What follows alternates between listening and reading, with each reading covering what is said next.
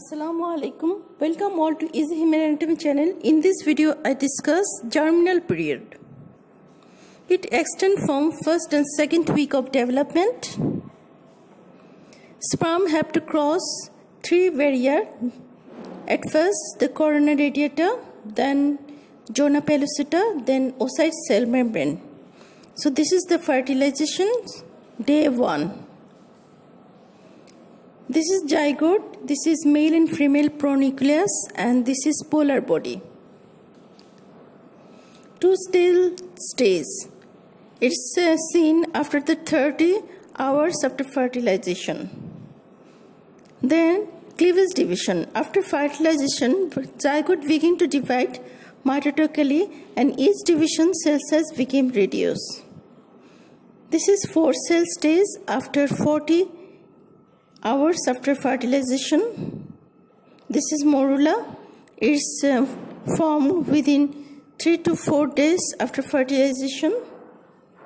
This is blastocyst. It uh, formed 7 days after fertilization. This is embryoblast or inner cell mass.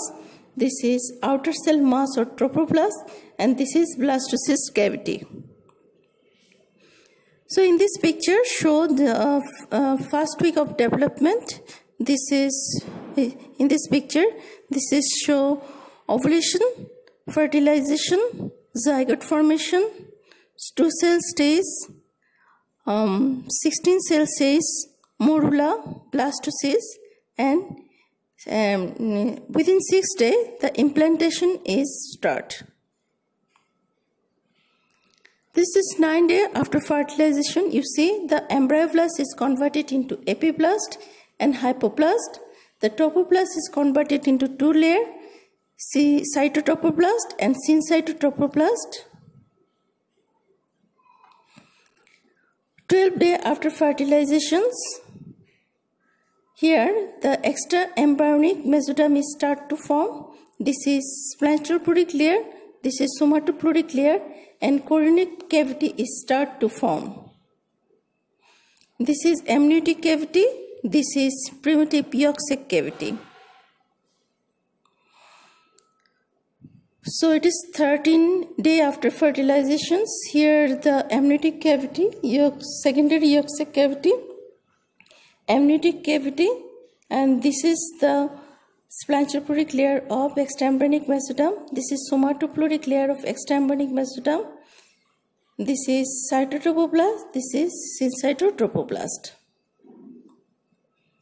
So this is the um, chorion. Chorion is formed by the three structures: somatopleuric layer of extraembryonic mesoderm, cytotrophoblast, and syncytotrophoblast. This projected portions of uh, uh, from chorion is known as the chorionic villi. So in the second week, primary and secondary chorionic villi is formed. So the main event of the first week, fertilization, zygote formation, initiation of cleavage, formation of morula, morula converted into blastocyst, and blastocyst implantation. The main event occurred in the second week of the development. It's also known as the week of two because embryoblast is converted into two layer, epiblast and hypoblast. Trophoblast differentiated into two layer, cytotrophoblast, syncytotrophoblast, extraembryonic mesoderm split into two layer, somatopleuric mesoderm and splanchnopleuric mesoderm.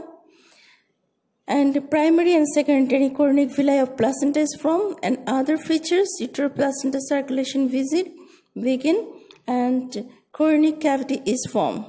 So this is all about this video. If you like this video, please press the like button and please subscribe my channel.